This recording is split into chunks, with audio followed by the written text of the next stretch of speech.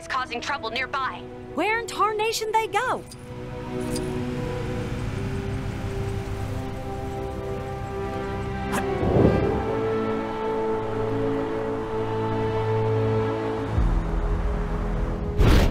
I gotta find him before it's too late. I rode over as fast as Nightwind could carry me when I heard the living totem has returned.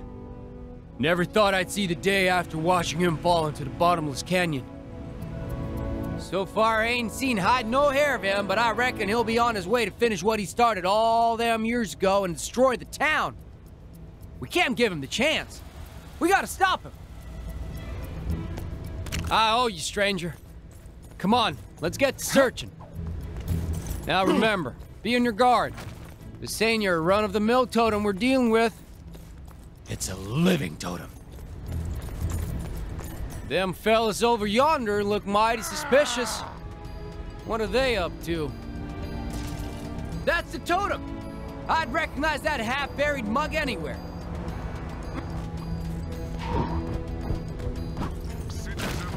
Hey! This is our giant head! Anyone other than the Kree who tries to approach it will answer to us! Y'all best step aside. That thing is more trouble than you can imagine. Don't say I didn't warn you. I've been itching for a good fight. Come on, compadre. Let's take these warmongers down a peg. Ha! Turns out, camping out by the head, picking fights with outsiders that came near was a good idea. Guess I owe Travlar that sandwich. These fellas seem prepared to go all out with the totem.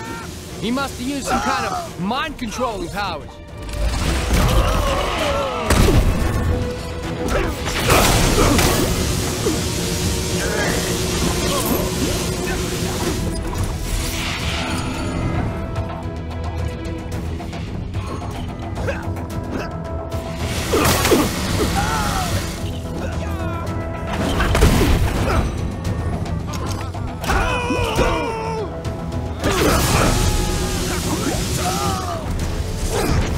Came as soon as I heard.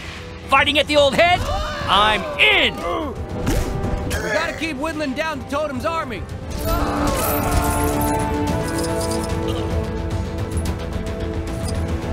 Figure that's the last of them. Now we can finally take care of the totem himself. Hold up. This is just the head of them floating Kree statues, ain't it? Well, this is embarrassing. But if the totem ain't here, well, where is he? Huh. I appreciate your help, but it looks like I got a little too hot-headed for my own good today. I'm gonna take a step back and try to figure this out. Hmm.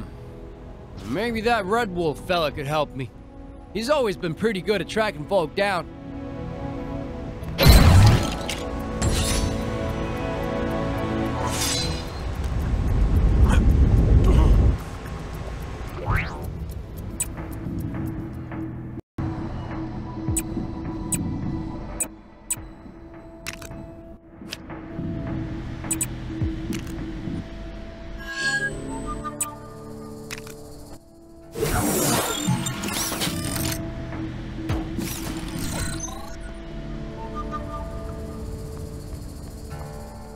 Red Wolf has been expecting you. You are a friend of the Rawhide Kid, are you not?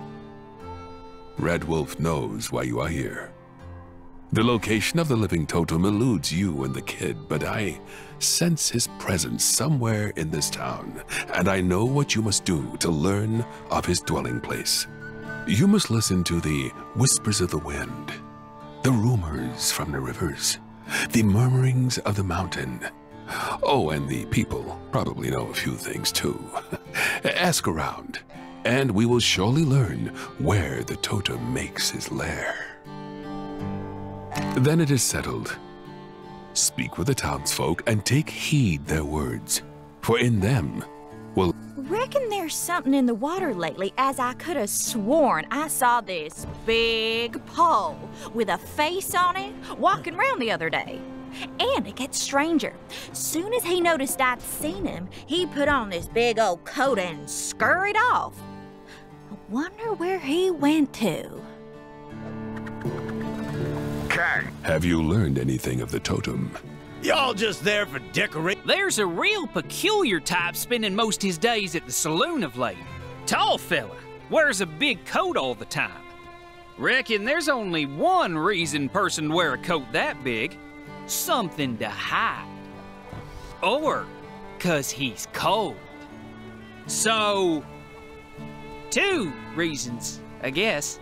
I hear they're getting some fancy new modern entertainment over at the saloon. Ask me. So far, I've learned nothing from the wind or the mountain. So, what knowledge did you bring?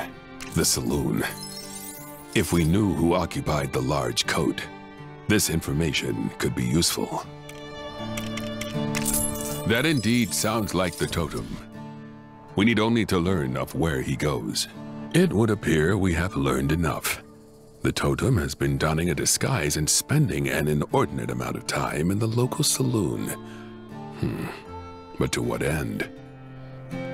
Of course, the answer to this question would most easily be discovered at the saloon itself.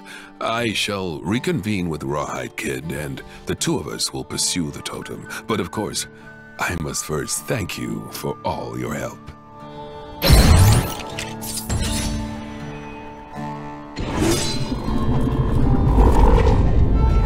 Gwenpool's disembodied voice here. Your heroic deeds have unlocked one of my incredible Gwenpool missions. Go find it. You have done much for Rawhide and myself. As soon as he returns, the two of us will go after the totem.